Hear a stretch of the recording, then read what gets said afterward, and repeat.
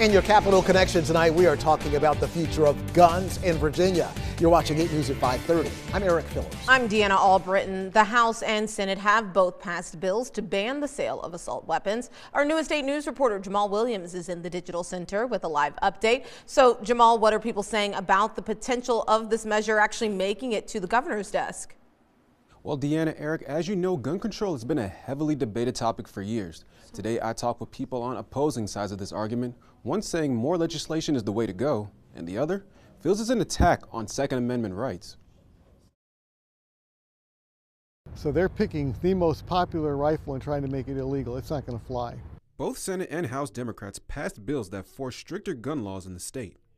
Now, Virginia Defense League president and Second Amendment advocate Philip Van Cleave says the real assault has been on lawful gun owners like himself. That's not going to stop crime.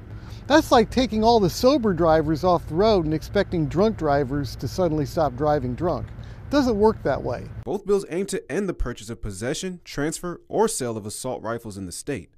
The bill that passed in the House would also make the possession of assault weapons a Class 1 misdemeanor, which would mean up to 12 months in jail and a fine of up to $2,500. This is not going to be any more successful, except this is not an illegal commodity. This is a protected civil right.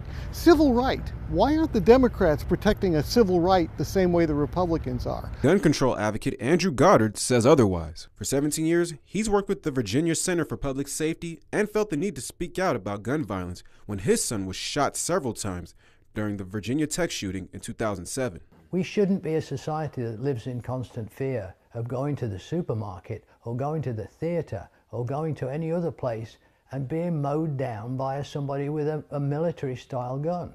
Carter says the likelihood of one of these bills getting vetoed by Governor Youngkin is high, but it doesn't mean they shouldn't try for reform. If he wants to represent the people of Virginia, he has to think about what the people of Virginia really want. We're talking thousands of people, thousands of people every year who are going to be either lucky and probably wounded, maimed, or even paralyzed in some cases for the rest of their lives.